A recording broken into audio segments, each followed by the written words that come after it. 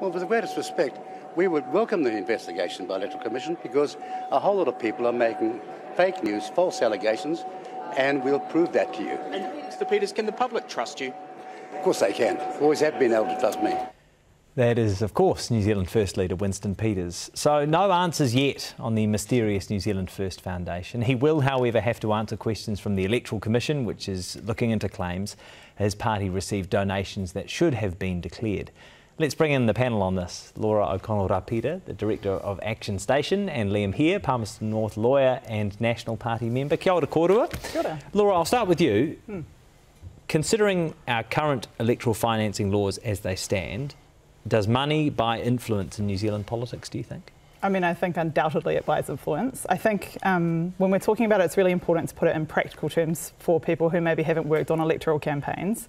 But when you're talking about big budgets um, versus not so big budgets, it's the difference between being able to, you know, pay to have leaflets dropped in every single letterbox in a neighbourhood versus um, you know trying to mobilise volunteers who are busy with their lives and you know bills to pay and jobs to do and all of those sorts of things to do the equivalent and mm. it just it's not a level playing field. So if you if you say it buys influence though, you say that that.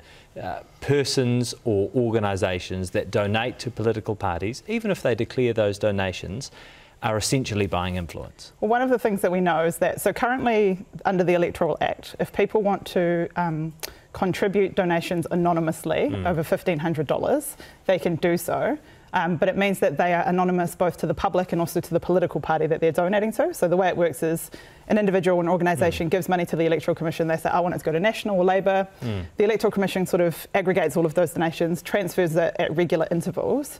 But between 2015 and 2018, only $150,000 was transferred in that way, which means that donors who are donating large sums of money are not choosing to donate through the route in which they have in, in, which they remain anonymous. They're choosing to make themselves known because they know that if they donate sums of money, they're essentially buying political favours and political influence. I'm loath to throw out the term quid pro quo this early in our conversation, but, but uh, Liam, would you agree with that assessment? Does money buy influence in New Zealand politics? See, I don't think we know that it does. I don't think it's the type of thing that you can actually easily measure. I think it depends a lot about the, the party that's in, um, mm. in government and the and the, the means of the fundraising and things like that. Um, the fact that we don't know is, of course, a problem in of itself because it's probably quite an important thing to know.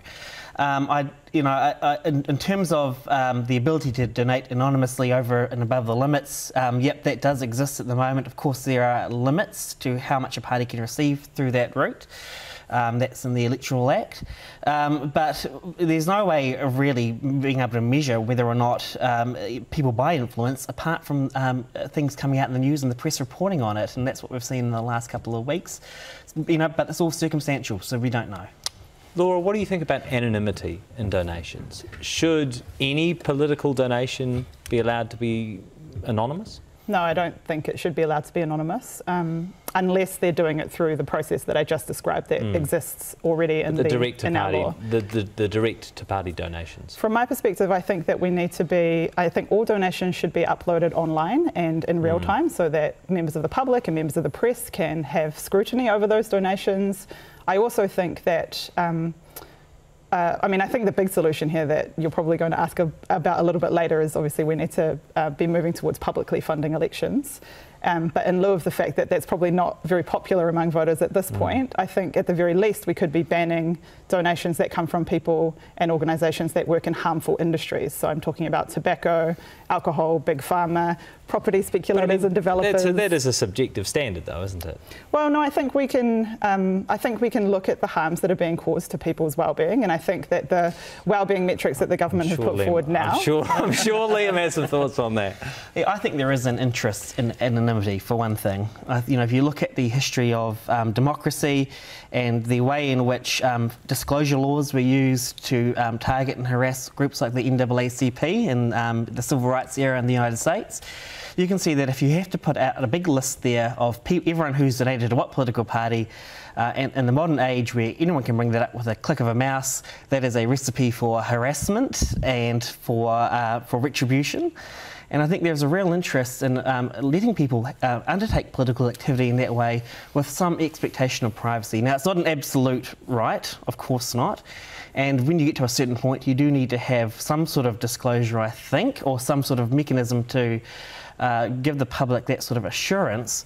But I wouldn't write off the privacy interests in donations just yet. What about state funding? I think that. Uh, I probably, on balance, I'd be opposed to it, and one of the reasons is I think that is a good way to entrench incumbency. I mean, the, all mm. the formulas for uh, for state funding that are in use around the world tend to go on who's already in power, what their sort of vote percentage share is, perhaps some other metrics like that. Uh, but that's raising a, a, a, an advantage over new players, new entrants into the field. And I think that any, if you, the minute that you went down that road, you would start to ossify the, um, you would start to ossify and harden the political status quo. Laura, it is likely to be very unpopular with mm, voters. How do you get that across the line? Well, I think. Um, I think it's a, something that we move towards over time because I acknowledge that it is very unpopular at this point, and I think the way that we move towards that is making other electoral mm. forms as we head towards that sort of ultimate goal. And so, what I mean by that is, you know, there could be um, uh, some degree of public funding of. Mm. Uh, of local elections, um, and, and, or for example, we could be capping donations, uh, just making tweaks that build trust between citizens and the electoral systems, so that they over time see the value in it and therefore want to put their money behind it. It's interesting to consider some of the sums that are donated in New Zealand politics, though, because when you put them in, in an international context, they are paltry, to say the least. Um, I, I, want to consider events in Australia, though, over the last 24 hours or so. Of course, 60 Minutes has reported allegations that Chinese agents in Australia essentially tried to install an MP by funding his campaign of up to a million dollars. Are we being alarmist? In New Zealand in considering a situation like Australia and considering the possibility for something like that happening here? Well, look, if it could happen in Australia, it could happen here, and there's no doubt about that. And I think that's really more of a question about um, uh, intelligence mm. and security rather than how we um, fund our democracy, so to speak. I mean, it really comes down to the fact that while we have to have a good and pragmatic and healthy relationship with China, we need to be on guard to the fact that it's a totalitarian uh, communist dictatorship uh, and that there are security uh, implications for that, but they are security questions, in my view, not political mm. donation questions. Uh, you have put forward an interesting concept for political funding that essentially guarantees everyone anonymity. Can you just talk us through how yeah, well, it's not, I didn't come up with it. I take the credit for introducing it into New Zealand. but uh, I mean, really, uh, what you what you would do is it's like the, like the scheme that Laura uh, described, which already exists, whereby you can donate to a blind trust. Um, the blind trust then uh, releases funds to the party at a regular interval mm. um, on the basis that um, that, that they don't disclose who the donors were or how much were received and what amounts. What I would do is I would make that compulsory, right? So you can only donate to politics through a, through a, a registered uh, blind trust, probably operated by the public trust or some So the parties never know with, with, with absolute surety exactly where their money has come from. If the scheme is well designed, mm. it should be have mechanisms mechanisms in it so you can never verify who made a donation. What do you think of that, Laura?